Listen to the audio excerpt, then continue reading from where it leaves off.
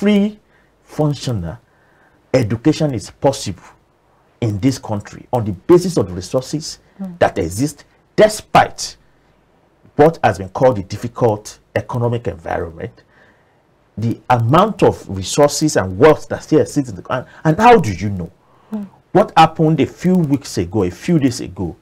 at the National Assembly, where the uh, Senate president,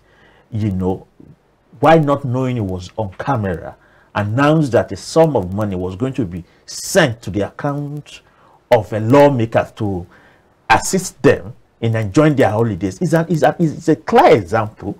that this economic catastrophe, this crash in living condition that affects all of us, only affects a certain layer of people in this country, that is the working class, the poor, those who have to struggle to survive.